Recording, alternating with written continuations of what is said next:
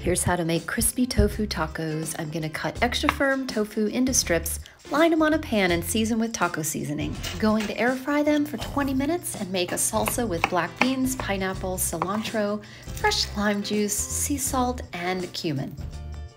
Give that a stir and now for the taco assembly. Enjoy you guys. Like and subscribe for more detoxing tips and recipes.